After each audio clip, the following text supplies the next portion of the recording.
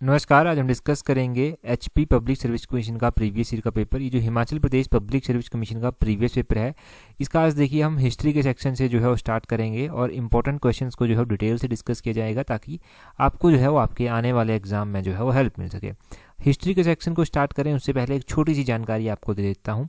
देखिए, जानकारी आपके लिए ये है कि टेलीग्राम पर जो हम क्यूज डालते हैं ना डेली वहाँ पर कुछ क्वेश्चंस मैं ऐसे बता रहा हूँ अभी आपको, जो हमने वीडियोस में भी डिस्कस किए हैं, परंतु फिर भी बहुत सारे लोगों ने गलत उनको टिक किया है। एक हमने क्वेश्चन वहाँ पर डाला था ब्लोखरा सीरीज़ के कांगड़ा पार्ट से, कि उत्पी ने अपनी पुस्तक तारीख यामिने में त्रिगर्त का नाम जो है वो उल्लेख किया है। तो त्रिगर्त को क्या कहकर उसने वहाँ पर उल्लेख किया है? तो भीमनगर कहकर जो है वो उल्लेख किया है। बहुत सारे लोगों ने जो था ये आंसर गलत बताया था तो ध्यान रखें, भीमनगर कहकर उसको जो था वो क्या किया था, उसका उल्लेख वहाँ पर किया था। एक और इसी तरह का क्वेश्चन था क्वेश्चन ये था कि हिमाचल प्रदेश किस वर्ष जो था वो केंद्र प्रशासित क्षेत्र था? यानी कि सेंटर इसको यहाँ से, प्रशासन यहाँ से चला रहा था। तो 1948 में आपने ध्यान रखना है कि 1948 में जब हिमाचल प्रदेश का गठन हुआ था तो उस टाइम सेंटर के द्वारा इसको एडमिनिस्ट्रेट जो था वो किया जाता था। जो केंद्र शासित था, केंद्र शासित अलग से है जो 1956 में बना था। यहाँ पर कंफ्यूज हो गया और सभी ने 1956 टिक कर दिया 1948 के ऊपर। बहुत कम लोगों ने ध्यान दिया तो ध्यान रखें 1948 जो है वो सही आंसर होगा। ये अगर आपने टिक किया होगा ना तो आपको सही आंसर भी पता चलता है टेलीग्राम पर और गलत भी। परंतु फिर भी आप जानिए कि एक और इस तरह का क्वेश्चन जो है वो गलत किया है कि त्रिपुरा के मुख्यमंत्री के रूप में किसने शपथ ली है?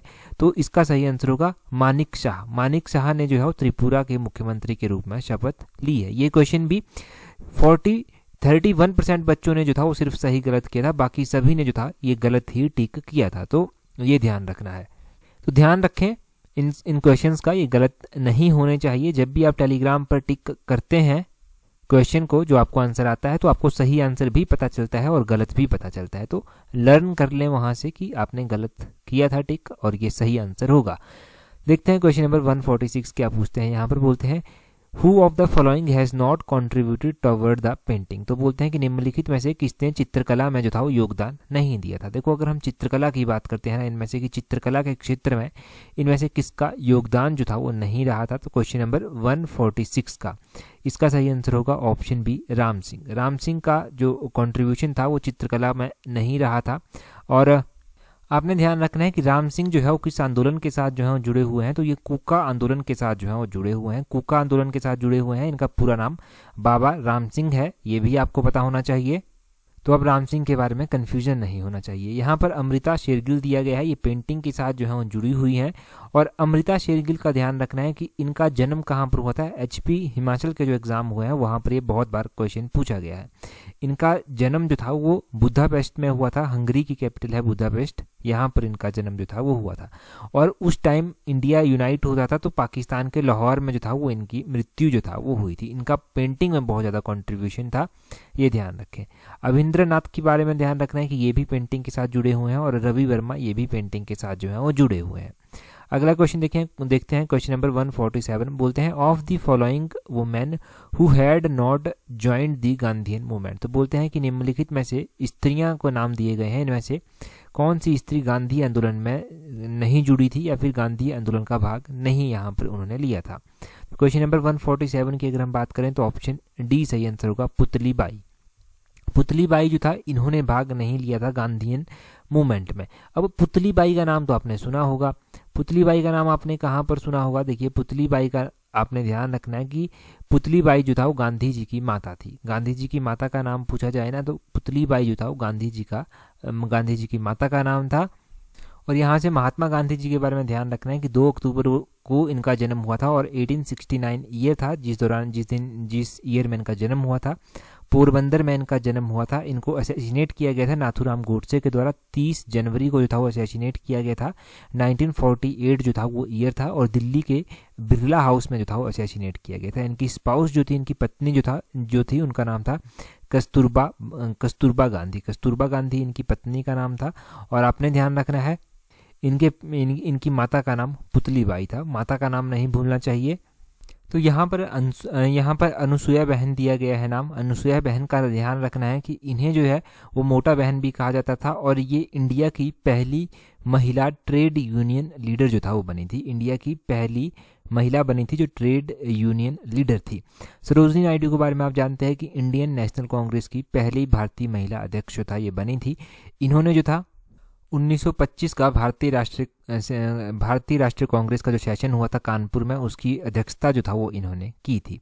और सरला देवी चौधरानी की बात करें तो ये जो था ना, ये टैगोर जी की नाइस थी, यानी कि उनकी भतीजी थी, और इन्होंने 1912 में एक सॉन्ग है, भारत भाग्य विधाता सॉन्ग इसको परफॉर्म किया था 1912 में। ये भी आपने ध्यान रखना है तो ये first person to perform Bharat Bhagya Vidhata जो था, वो ये है सरला देवी चौधरा चौधरानी 1912 में इन्होंने ये परफॉर्म किया था। तो ये सारी पर्सनैलिटीज़ के बारे में आपने जान लिया जो ऑप्शन में दी गई है। अगला क्वेश्चन देखिए, बोलते हैं who has contested the theory of drain of wealth from India तो बोलते हैं कि भारत से धन निष्कासन के सिद्धांत का किसने विरोध किया था? अब देखो, एक ड्रेन ऑफ़ वेल्थ की थ्योरी आई थी, इसका विरोध भी हुआ था। आपको ये ज्ञात होना चाहिए, पहले जानिए कि विरोध किसने किया था। विरोध किया गया था मॉरिस डी मॉरिस के द्वारा। ऑप्शन ए, सही आंसर है। मॉरिस डी मॉरिस ने जो था, वो इसका विरोध किया था। अब जानिए कि ये ड्रेन ड्रेन ऑफ़ वेल्थ क्या थी? या फिर ये किस तरह की थ्योरी थी?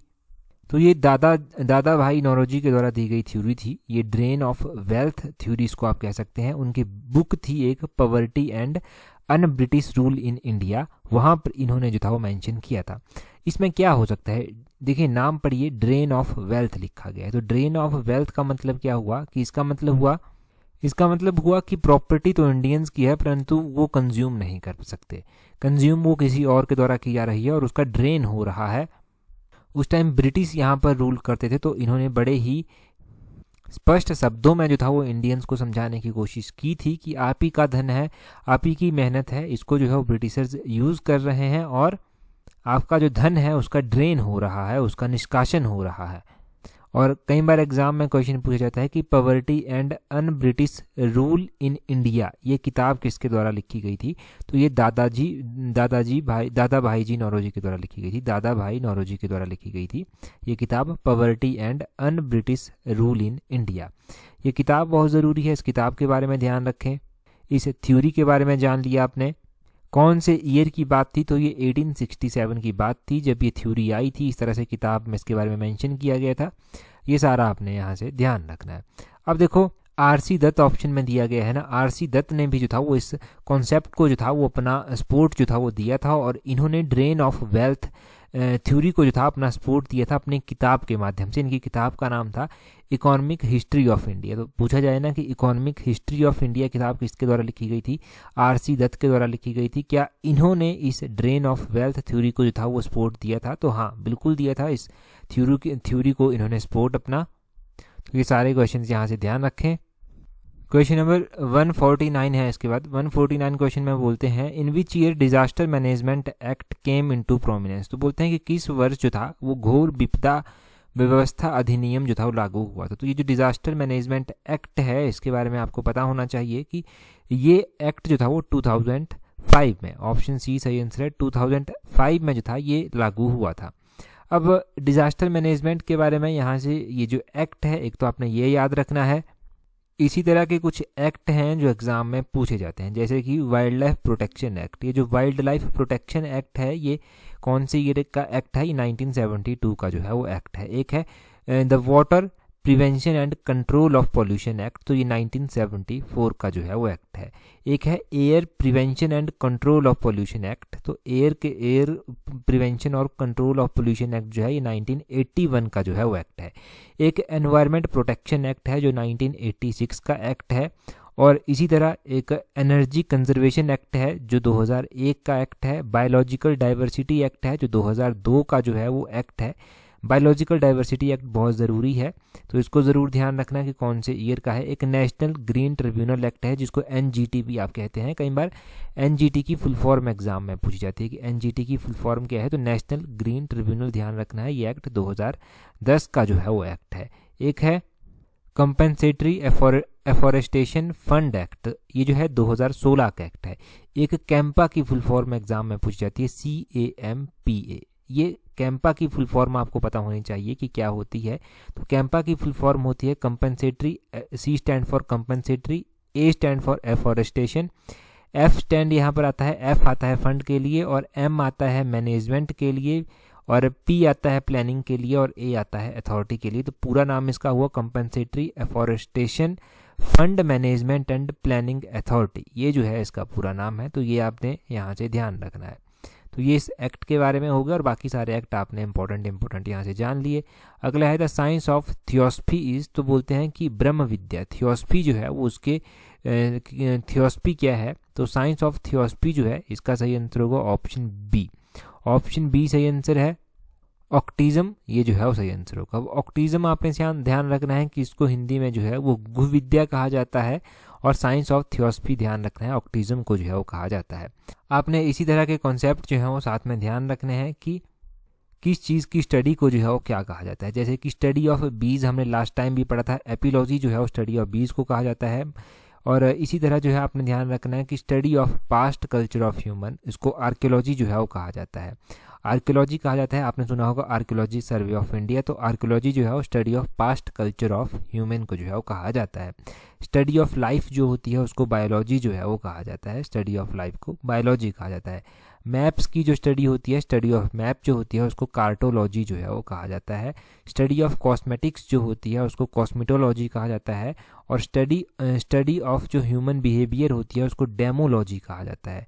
डेमोलॉजी होता है स्टडी ऑफ़ ह्यूमन बिहेवियर और स्टडी ऑफ़ अर्थ को जो है वो जियोलॉजी कहते हैं स्टडी ऑफ़ हैंडराइटिंग को जो है वो ग्रेफोलॉजी कहा जाता है study of cultivation of fruits vegetable flower इनको जो है वो हॉर्टिकल्चर जो है वो कहा जाता है स्टडी ऑफ़ वाटर को जो है वो हाइड्रोलॉजी कहा जाता है स्टडी ऑफ़ फंजाई जो फंगस की स्टडी जो होती है उसको माइकोलॉजी माइकोलॉजी जो है वो कहा जाता है। तो ये बहुत सारी स्टडीज़ आपने यहाँ से जान ली। पहले भी हमने कुछ दिन पहले ही अभी रिवाइज की थी तो ये एक अच्छा रिवीजन आपका यहाँ से हो गया। नेक्स्ट क्वेश्चन देखिए, अगले क्वेश्चन में क्या बोलते हैं? बोलते हैं, Swaraj party was formed in which तो बोलते हैं, स्वराज पार्टी की स्थापना कब की गई थी या फिर इस पार्टी को कब गठित किया गया था? देखो, स्वराज पार्टी, ध्यान रखना है आपने कि 1923 में 1923 में जो था वो स्वराज पार्टी का गठन हुआ था। स्वराज पार्टी जो था वो इलाहाबाद में स्वराज पार्टी बनाई गई थी। मोतीलाल नेहरू मोतीलाल नेहरू और सी आर दास थे, जिन्होंने कांग्रेस से ही अलग होकर जो था वो स्वराज पार्टी जो था वो बनाई थी। ये भी ध्यान रखना है 1923 से पहले जो था वो चौरी चौरा की घटना हुई थी 1922 में, वो भी आपने ध्यान रखना है। और इसके अलावा जो इम्पोर्टेंट अलग अलग सीनैरियोज जो था वो हिस्ट्री में होते रहे, जैसे कि आपने क्या ध्यान रखना है कि इसी तरह का एक सीनैरियो है जो 1923 के बाद 1924 में हुआ था। 1924 में जो था, वो हिंदुस्तान रिपब्लिकन एसोसिएशन, जिसको एच आर ए कहा गया, इसकी स्थापना जो था, वो की गई थी, एच आर ए की स्थापना। और आपने साथ में ध्यान रखना है कि 1928 में जो था, वो हिंदुस्तान सोशलिस्टिक रिपब्लिकन एसोसिएशन की स्थापना की गई। यानी कि एच आर ए को बदलकर एच एस आर ए जो था, वो बना दिया गया, हिंदुस्तान सोशलिस्टिक रिपब्लिकन आर्मी। और 1924 के बाद 1925 में जो था वो काकोरी कांड हुआ था। काकोरी कांड का नाम भी जो था वो बदला था। तो करंट अफेयर का क्वेश्चन उस टाइम में बना था कि काकोरी कांड का नाम बदलकर जो है वो क्या रखा गया है। तो काकोरी कांड का नाम बदलकर काकोरी ट्रेन एक्शन रखा गया था, क्योंकि इस दौरान क्या हुआ था, काकोरी नामक स्थान पर जो था, एक ट्रेन में जो था वो डकैती डाली गई थी और सारी, सारा जो सरकारी खजाना था उसको लूटा गया था। तो इसको काकोरी ट्रेन एक्शन जो था वो कहा गया, ये ध्यान रखना है। 1925 तक का ये सारा सिनेरियो आपने ध्यान रखना है 1922, 23, 24, 25 ये बहुत ज़्यादा इंपॉर्टेंट है और रिवीजन के लिए भी इंपॉर्टेंट है। एग्ज़ाम में पूछा जाएगा डेफिनेटली क्वेश्चन नंबर 74 देखिए। 74 में बोलते हैं who was the founder of Muslim League तो बोलते हैं कि मुस्लिम लीग की स्थापना जो था वो किसने की थी? देखो मुस्लिम लीग की स्थापना किसने की थी कब की थी ये सारे क्वेश्चन जो हैं वो इंपॉर्टेंट बनते हैं। तो नवाब सलीमुल्ला के द्वारा जो था वो मुस्लिम लीग की स्थापना जो था वो की गई थी। ऑप्शन सी जो है वो सही आंसर है।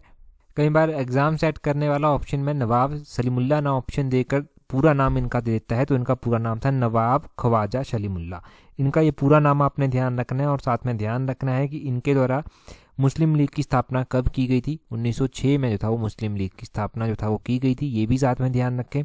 इसके अलावा आपने ध्यान रखना है कि मुस्लिम लीग जो था, कहाँ पर फॉर्म की गई थी, कहाँ पर इसकी स्थापना की गई थी? तो ढाका में जो था वो इसकी स्थापना की गई थी। इनके राइट क्या थे? इनके इनके जो जो, ये जो पार्टी बनाई गई थी, इनके ऑब्जेक्टिव क्या थे? इनके उद्देश्य क्या थे? तो उनका उद्देश्य तो नाम से पता चल रहा है। पहला उद्देश्य था कि सेफ़ करना। पॉलिटिकल राइट जो मुस्लिम्स के हैं, उनको जो है वो सेफ़ करना। दूसरा था कि एक लॉयल्टी हम मेंटेन करके रखेंगे ब्रिटिश गवर्नमेंट के प्रति। दूसरा ये था और यही पार्टी थी जो पाकिस्तान के क्रिएशन में, पाकिस्तान को बनाने में जिसने एक अहम योगदान जो था वो प्ले किया था। इसमें बहुत सारे प्रिजाइडिंग लीडर रहे, जैसे कि मोहम्मद अली जिन्ना जो था, ये भी प्रिजाइडिंग लीडर थे इसके। आगा खान थर्ड भी इसके प्रिजाइडिंग लीडर थे। नवाब वकफ उल मुल्क जो था, ये भी थे। तो ये सारे जो था, वो इसके प्रिजाइडिंग लीडर थे और भी बहुत सारे थे, परंतु इंपॉर्टेंट वन आप ध्यान रखें। तो ये सारे क्वेश्चन कहाँ पर इसकी स्थापना की गई, कब इसकी स्थापना की गई, किसने इसकी स्थापना की, उसके उद्देश्य क्या थे? पाकिस्तान जो बना था तो पाकिस्तान की फॉर्मेशन में क्या इसका हाथ था या नहीं, क्या इसने सपोर्ट किया था तो बिल्कुल इसने पाकिस्तान के बनने के लिए सपोर्ट किया था, ये ध्यान रखें। 75 नंबर क्वेश्चन देखिए, बोलते हैं the Gandhi Irwin pact proclaimed the suspension of तो बोलते हैं गांधी इरबिन समझौता जो हुआ था, इसके द्वारा इस आंदोलन, किस आंदोलन को था स्थगित किया गया था? देखो, गांधी इरबिन समझौते की जब भी हम बात करते हैं तो आपने ध्यान रखना है कि 1931 में ये हुआ था और सिविल डिसओबिडेंस मूवमेंट जो थी, सविन्य अवज्ञा आंदोलन जो था, इसको जो था वो स्थगित कर दिया गया था। अगर हम थोड़ा सा डिटेल से यहाँ से जानेंगे तो आपने ध्यान रखना है कि 1931 में गांधी और इरबिन के बीच में जो था वो समझौता हुआ था, जिसको गांधी इरबिन समझौता जो था वो कहा गया था। गांधी जी और इरविन के बीच में ये जो मुलाकातें चली थी, या फिर ये समझौते की बातें चली थी तो ये पंद्रह दिनों तक जो था वो वार्ता चलती रही थी। अंत में जाकर 5 मार्च 1931 को जो था ये समझौता हुआ था, जिसमें ये कहा गया था कि कांग्रेस कांग्रेस के जितने भी नेता हैं, जिनको राजनीतिक कैदी की बनाकर रखा है, उन सभी को जो है वो रिहा जो है वो कर दिया जाएगा। अपहरण की गई संपत्ति जो है, वो भी वापस लौटा दी जाएगी। समुद्र तट के निश्चित सीमा के भीतर जो है, वो नमक तैयार करने की अनुमति जो है, वो दी जाएगी। और विदेशी वस्तुओं की दुकानों के सम्मुख जो है, वो शांतिपूर्ण विरोध लोग कर सकते हैं, ये भी परमिशन जो है, वो दी जाएगी। तो ये सारी परमिशन जो था वो यहाँ से दी गई थी। परिणाम स्वरूप 1931 में सविज्ञा जो परिणाम स्वरूप क्या हुआ था कि सविन्या अवज्ञा आंदोलन जो था वो इसको स्थगित कर दिया गया था। परंतु बाद में ये फिर से शुरू हुआ था। इसके अलावा ध्यान रखना है कि 1930 वन में ही जो था, वो सेकंड गोलमेज सम्मेलन भी जो था, वो हुआ था। इसके तुरंत बाद जो था, वो हुआ था। इसके तुरंत पहले भी जो था, वो एक गोलमेज सम्मेलन हुआ था। तो ध्यान रखें कि तीन गोलमेज सम्मेलन हुए हैं। एक 1930 में शुरू हुआ और 1931 तक जो था, वो चला था। जनवरी महीने की 1931 तक चला था। और, दूसरा गोलमेज सम्मेलन 1931 में शुरू हुआ और 1931 में ही जो था ये समाप्त हो गया था। तीसरा गोलमेज सम्मेलन जो था वो 1932 में जो था वो चला था, ये भी आपने ध्यान रखना है। तो तीन गोलमेज सम्मेलन ये कब कब हुए ये ध्यान रखना है। हाँ गांधी इरविन समझौते के बाद जो दूसरे नंबर का गोलमेज सम्मेलन हुआ था, उसमें महात्मा गांधी ने जो था वो भाग लिया था। और महात्मा गांधी ने सिर्फ़ और सिर्फ़ दूसरे गोलमेज सम्मेलन में ही भाग लिया था और किसी गोलमेज सम्मेलन में इनके द्वारा भाग नहीं लिया गया था। यहाँ से अगर हम बात करते हैं डांडी मार्च की तो डांडी मार्च का आपको पता है कि 12 मार्च 1930 को स्टार्ट हुई थी 16 अप्रैल 1930 तक जो था वो चली थी। हम बात करते हैं असहयोग आंदोलन की। तो असहयोग आंदोलन जो था वो कब चला था, ये भी आपको पता है कि असहयोग आंदोलन जो था वो गांधी जी के द्वारा चलाया गया था और ये आंदोलन जो था वो लगभग 1920 में चला था 1922 तक जो था, ये चलता रहा। और इसके अलावा क्विट इंडिया मूवमेंट, भारत छोड़ो मूवमेंट जो चला था, वो कब चला था? भारत छोड़ो मूवमेंट, आपको पता है कि 1942 में जो था, वो चला था। 1942 में भारत छोड़ो मूवमेंट चला था। इसी दौरान महात्मा गांधी जी के द्वारा द्वारा ये नारा भी दिया गया था, करो या मरो का नारा। ये सारी चीज़ें हो गई। यहाँ से अगला क्वेश्चन देखिए, बोलते हैं Indian National Congress split for the first time in its session at तो बोलते हैं कि भारतीय राष्ट्रीय कांग्रेस जो था, वो अपने किस अधिवेशन में जो था, वो अलग हो हो गई थी। तो भारतीय राष्ट्रीय कांग्रेस जो था, इसके दो अलग अलग भाग बन गए थे। एक थे गर्म दल के नेता, एक थे नरम दल के नेता। तो ये जो था, वो सूरत का सेशन हुआ था, जिसमें जो था, ये अलग हो गई थी। ऑप्शन बी जो है, वो सही आंसर अब सूरत का सेशन था, परंतु सूरत के सेशन के अलावा आपको क्या पता होना चाहिए कि ये कौन से ईयर का सेशन था, या फिर कौन से ईयर में इंडियन नेशनल कांग्रेस जो था, वो अलग हुई थी। तो आपको ध्यान रखना है कि इंडियन नेशनल कांग्रेस 1907 में जो था, वो स्प्लिट हो गई थी, अलग हो गई थी। सूरत में जो था, वो सेशन हुआ था। इस सेशन की अध्यक्षता जो था, वो कौन कर रहा था?